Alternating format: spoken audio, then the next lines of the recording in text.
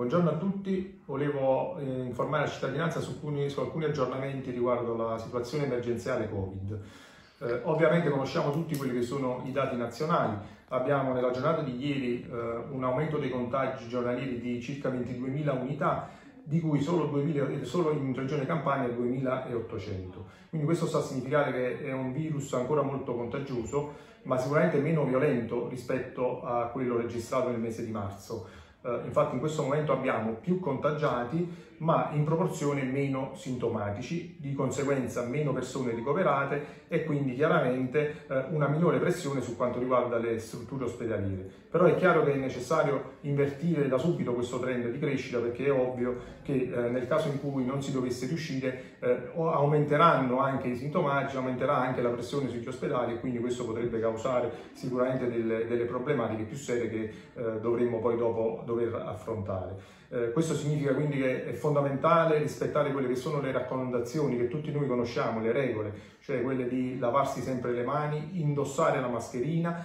eh, e soprattutto mantenere il distanziamento sociale. Sappiamo bene che non esistono delle ordinanze che oggi limitano la mobilità eh, intracomunale, ma eh, è chiaro, così come anche descritto nel, nell'ultimo eh, DPCM del Presidente Conte, che c'è una forte raccomandazione quindi a rimanere a casa, una forte raccomandazione a non, uscire, a non uscire in questo momento, ma a uscire solo in caso di necessità nel rispetto di quelle che sono le regole che dobbiamo assolutamente eh, non tralasciare. Per quanto riguarda invece la situazione proprio specifica della, della nostra città, abbiamo i dati ufficiali di ieri, 27 ottobre, dove abbiamo purtroppo registrato due nuovi soggetti positivi che hanno portato poi a 7 il numero complessivo dei contagiati. Abbiamo avuto anche una buona notizia dall'ASL perché eh, c'è stata la guarigione della, del nostro primo, eh, della nostra concittadina che è rientrata dalla Francia che eh, finalmente è risultata positiva, per cui veramente l'augurio eh, di guarigione alla nostra concittadina ma soprattutto anche a tutte le altre persone contagiate, positive in questo momento, insomma di pronta di guarigione. Vi posso garantire che stanno tutti bene, io sono in costante contatto quotidiano, telefonicamente veramente con tutti loro e devo dire che eh, sono anche loro a darmi la forza in, in questo momento per affrontare queste, eh, queste situazioni eh, che sicuramente non, non, auspicavo di dover affrontare così subito dopo un, il primo mese ecco, di, eh, di legislatura. Per cui sono prima loro a darmi la forza di andare avanti e quindi il messaggio forte che voglio lanciare a tutta, a tutta Positano è che questi, queste persone stanno bene e quindi eh, ci invitano a, a stare tranquilli tranquilli, a rispettare le regole e, e a non abbassare la guardia soprattutto. Purtroppo però questa mattina mi arrivano anche altre notizie, eh, non ancora confermate ufficialmente, ma eh, di altri probabili 7 contagiati, che porterebbero quindi il numero eh, di positivi a 14. Si tratta purtroppo di dati non confermati perché sono tamponi effettuati in forma privata e qui bisognerebbe eh, aprire una, una, parentesi perché è chiaro che eh, se si fa la corsa a fare i tamponi presso strutture private diventa poi complesso eh, riorganizzare e avere un attimo il, um, il punto della, della, situazione. Per cui, eh, ma questo non lo dico io, lo dicono le disposizioni nazionali, i tamponi vanno fatti, vanno fatti solo se necessario, vanno fatti solo in caso di sintomi. Le raccomandazioni sono sia per i contatti diretti ma anche per i contatti stretti, sono quelle di stare a casa quindi di evitare eh, incontri che in questo momento non sono necessari e solo nel caso in cui poi dovessero presentarsi dei sintomi contattare il medico di base il quale poi a sua volta ecco, contatterà l'ASL per prenotare il, il tampone per cui veramente eh, vi esorto ad evitare questa, questa corsa ai tamponi. Eh, per quanto riguarda i medici, i medici di base volevo informarvi che ho nella giornata di ieri emesso un'ordinanza un'ordinanza rivolta sia ai medici di base ma anche a questi centri di analisi privati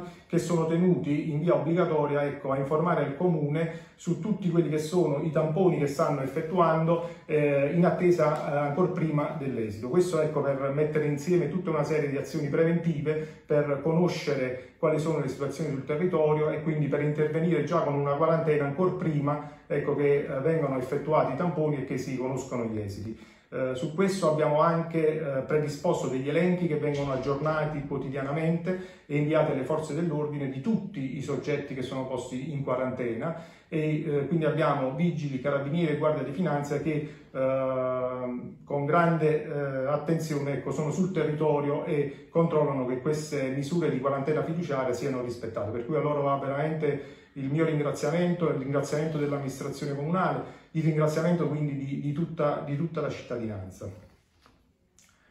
Oggi sono in contatto con il, i medici dell'USCA, eh, dovremo effettuare il, il, primo screening di tamponi che avverranno in piazza dei racconti in giornata, dove verranno effettuati tamponi a tutte le persone che sono state poste in quarantena fiduciaria relativi ecco, ai primi soggetti positivi che ci sono stati eh, comunicati.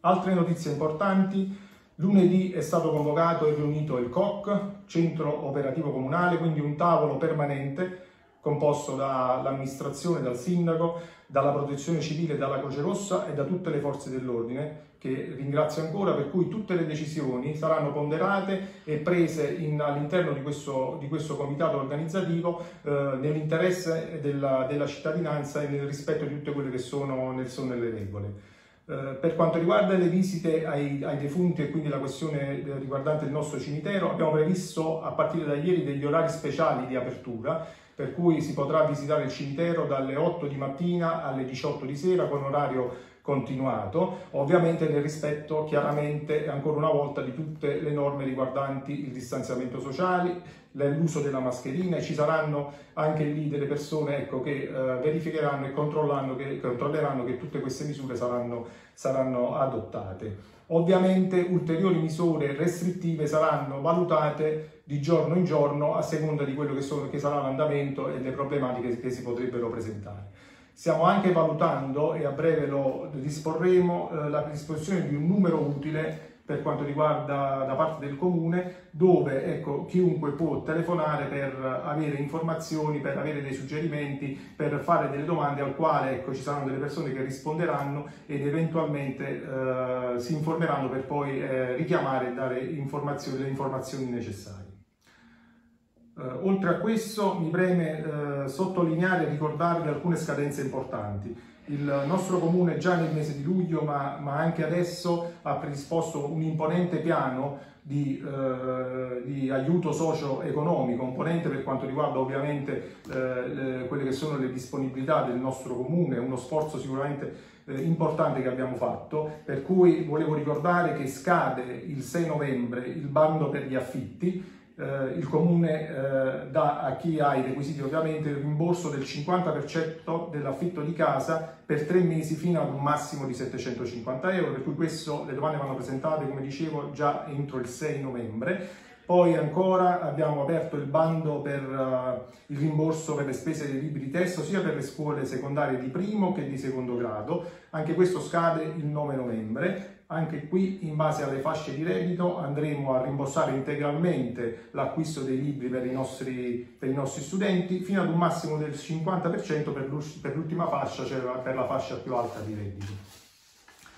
Uh, infine, sempre per quanto riguarda il piano socio-economico, sarà pronto e quindi pubblicato dal primo novembre il bando per gli stagionali. Sarà possibile quindi presentare la domanda appena uscirà il bando, è una misura che noi riteniamo fondamentale in questo momento, eh, che abbiamo riproposto, eh, mh, dove prevediamo dei contributi agli stagionali in proporzione ai mesi lavorati dal 1 luglio al 31 ottobre. Ovvero chi avrà lavorato eh, per un solo mese avrà diritto quindi a tre mensilità di contributo pari a complessivi 900 euro, cioè 300 euro mensili. Chi ha lavorato per due mesi avrà diritto a due mensilità pari a 600 euro, chi ha lavorato per tre mesi avrà diritto ad una mensilità pari a 300 euro. Per coloro invece che purtroppo non hanno eh, lavorato e quindi sono risultati disoccupati durante questo periodo, avranno diritto a tre mensilità di 400 euro, quindi per un complessivo eh, di 1200 euro in tre mesi. A questo si aggiunge un contributo di 50 euro per ogni figlio a carico di ogni lavoratore stagionale che dovesse rispettare i requisiti e che quindi può accedere alla, al finanziamento. Queste in sintesi sono le, le principali notizie di giornata. noi continueremo a, a tenervi informati su quello che è l'andamento eh, dell'emergenza Covid sul nostro territorio. Chiaramente non posso eh, che lasciarvi con delle raccomandazioni importanti che ho già, ho già detto, ma eh, dobbiamo continuare a sottolineare. Non solo io, eh, sindaco come comune, ho chiesto anche a tutta la, la mia amministrazione di ecco, promuovere e eh, diciamo, eh, far passare questo messaggio dove oggi è fondamentale restare a casa e uscire solo per necessità. In questo momento questo è sicuramente il modo più efficace per, per stare tranquilli e per uh, evitare ecco, uh, contatti inutili che potrebbero ecco, generare uh, delle problematiche successive per, per, il futuro. Per cui veramente vi esorto a uscire solo per lavoro, per necessità e soprattutto laddove ecco, è necessario uscire, utilizzare, come già detto prima, tutte, il rispetto di tutte le regole che conosciamo bene. Quindi, eh, così sicuramente potremo superare questo momento. Io sono certo, sono sicuro che ce la faremo, ce la faremo tutti quanti insieme e soprattutto con l'unione di tutta, di tutta la comunità e eh, con il sostegno che dobbiamo necessariamente darci l'uno con l'altro in questo momento di difficoltà. Per cui vi ringrazio, vi terrò aggiornati e eh, ci, sentiamo, ci sentiremo quotidianamente. Buona